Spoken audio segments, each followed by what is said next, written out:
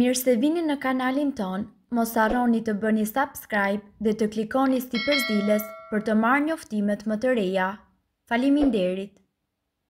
Vendosni pak kripë në një kënd të shtëpisë dhe ja mrekullia që do të ndodhë! Kripa e trashë është një produkt që gjendet lehtësisht në markete, por në këtë artikull ne do t'ju tregojmë si ta përdorni nëpër receta. Janë disa truke të vogla të cilat e bëjnë kripën të dobishme për gjëra të tjera. Kripa e trashë është shumë e mirë për të pastruar. Për shembull, mund të eliminojë njolla të ndryshme, edhe ato të verës, Mjafton të vendosni pak prej saj në zonën që është bërë me njollë, ta lini derisa të përthithë pak dhe më pas ta shpërlani atë me ujë të nxehtë. Një tjetër mënyrë është duke e përzier kripën me ujë dhe pak uthull. Me këtë përzierje mund të pastroni tapetin tuaj. Për veshjet. Nëse disa prej rrobave tuaja mund të duken të vjetruara nga koha, vendosini në një enë të madhe me ujë të ftohtë, kripë të trashë dhe uthull të bardhë. Do të shihni që do të duken si të reja dhe ngjyra do të rikthehen si më parë. Frutat dhe perimet, edhe zarzavatet apo frutat, mund të pastrohen me kripë të trashë. Nëse doni të jeni të sigurt për largimin e papastërtive, futini në ujë të ftohtë me kripë të trashë. Largon mykun. Njësoj si çantat e rrobës që mund të blini për të aromatizuar dollapin e rrobave. Ashtu mund të bëni dhe me kripën. Krijoni vetë një çantë të vogël me një rrobë që nuk ju duhet. Mbusheni me kripë dhe lëreni mbi një mobilje apo në një kënd të shtëpisë ku shihni se krijohet myku. Çanta e improvizuar do të përthithë mykun dhe aromat e pakëndshme që mund të ndihen në ambientet e shtëpisë. Lagështira në shtëpi, zgjidheni problemin vetëm me kripë të trashë. Ekzistenca e lagështirës është një nga problemet më të zakonshme për të luftuar në shtëpinë tuaj. Megjithatë, ndonëse ky problem është i zakonshëm, është më mirë të veprohet për dy arsye themelore. Para së gjithash nuk është bukur të shihet dhe pastaj lagështia është armiku i shëndetit tonë. Për më tepër lagështia mund të ndryshojë ushqimin, duke shkaktuar myk, që jo vetëm i bën ato të pangrënshme por gjithashtu mund të nisë fillimin e sëmundjeve të caktuara. Përveç këshillës së zakonshme për të lënë dyert dhe dritaret e hapura për ajrim, Një nga metodat më efektive për të zgjidhur problemin është kripa e trashë.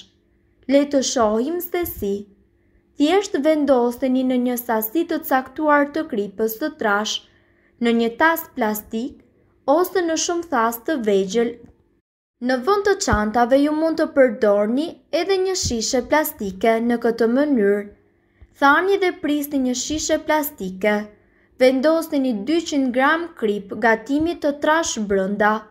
Pastaj vendoseni shishen plastike në një cep të dhomës dhe brënda 3 apo 4 ditësh do të vini re se uji do të absorbohet gradualisht nga kripa. duke siguruar një mjedis të shëndetshëm për të gjithë familjen. Përzierja mund të ripërdoret disa herë, të paktën deri në 5 herë, thjesht duke tharë kripën brenda furrës për 15 minuta në një temperaturë prej 50 gradë.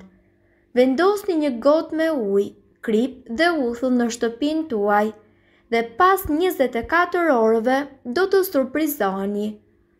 Popullsia lindore dikur, ndoshta besonte se në shtëpi shpesh krijohej një energji negative, e cila pengonte harmoninë dhe mbarëvajtjen e gjërave. Madje fise të lashta kishin gjetur një mënyrë të thjeshtë dhe efikase për të larguar këto energji negative dhe për t'i kthyer shtëpisë apo ambientit ku jetonin harmoni dhe ajër të pastër. Është zbuluar se në disa tradita neopagane vendosej një pjatë uthull e bardhë dhe lihej jashtë dritares gjatë natës dhe besohej se kjo largonte negativitetin. Madje edhe sot shumë persona që janë supersticiozë zgjedhin të bëjnë një recetë të thjeshtë për të larguar energji negative nga shtëpia e tyre dhe për të freskuar ajrin. Nëse edhe ju besoni në këto tradita, atëherë e vetmja gjë që duhet të bëni është të mbushni një gotë me ujë, të hidhni pak kripë dhe pak uthull dhe ta lini për njëzet e katër orë në një cep të shtëpisë, ku nuk duket lehtësisht. Do t'ju duhet një gotë qelqi e cila duhet të jetë plotësisht transparente, uthull të bardhë, kripë dhe ujë. Përgatitja, Shtoni kripën, pak uthull dhe ujë në një gotë qelqi. Vendosni atë në zonën ku kalojnë më shumë njerëz. Lëreni të qëndrojë për njëzet e katër orë. Më pas derdheni ujin dhe përsëriteni procedurën sa herë që të mendoni se është e nevojshme. Kujdes, Duhet ta vendosni gotën në një zonë ku nuk mund të shihet në mënyrë që të arrijë të thithë energjitë në mënyrë natyrale dhe efektive. Besohet se kripa dhe uthulla çlirojnë jonet negative në zonën përreth, duke pastruar dhe freskuar në këtë mënyrë ajrin e shtëpisë. Këtë gjë mund ta përsërisni sa herë të dëshironi apo sa herë të mendoni se është e nevojshme. Problemet me lagështirën mund të kthehen në një makth të vërtetë, sidomos nëse formohen në zona të ndryshme të shtëpisë. Lagështira nga jashtë futet brenda duke ndikuar në të gjitha ambientet brenda shtëpisë dhe shëndetin tuaj. Si fillim, gjatë periudhave kur ka diell, siguroni të hapni dritaret apo dyert që rrezet e diellit të depërtojnë në çdo dhomë. Kjo do t'i sjellë shtëpisë tuaj freski dhe energji të mirë. Në rastet kur lagështira ka pushtuar shtëpinë tuaj, sugjerojmë disa metoda të thjeshta për të zgjidhur problemin. Kripa është një ndër elementet që është në gjendje të thithë lagështinë nga çdo ambient, një përbërës që e gjejmë kudo. Për një rezultat të shpejtë, përdorni kripë të trashë. Kripa e trashë e vendosur në një shishe plastike. Mënyra e parë që ne ju sugjerojmë është ajo e kripës në shishe plastike.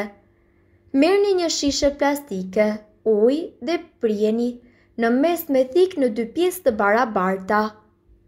Për një dhomë 5 metra me 5 do t'ju duhet Rreth njëqind e pesëdhjetë gram kripë e trashë.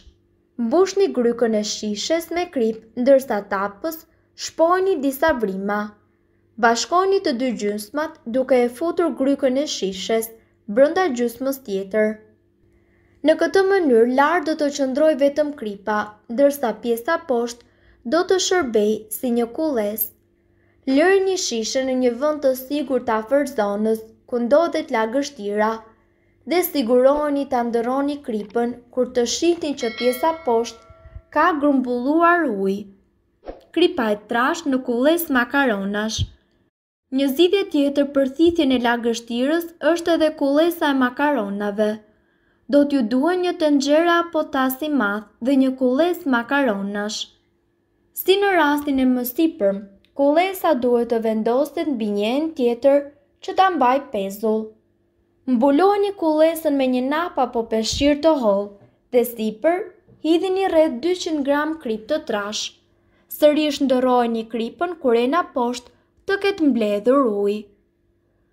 Jo vetëm lagështirën, por ju gjithashtu mund ta përdorni kripën edhe për të pastruar sobën. Pasi gatuani, soba bëhet tejmase pis. Edhe nëse sapo keni pastruar, duket sikur yndyra ka javë që shtresohet aty. Kur soba është ende e nxehtë, hidhni pak kripë mbi të. Pasi soba të ftohet, fshiheni kripën me një leckë të lagur. Kripa do të përthithë të gjithë yndyrnat dhe lëngjet e derdhura. Nëse doni të dëgjoni videot tona që ne postojmë çdo ditë, kliko subscribe. Ju ftojmë gjithashtu të bëni like në videot tona nëse i keni dëgjuar dhe pëlqyer ato. Faleminderit që e patë videon tonë. Shpërndajeni këtë video në profilin tuaj në mënyrë që të informohen edhe shokët tuaj. Faleminderit!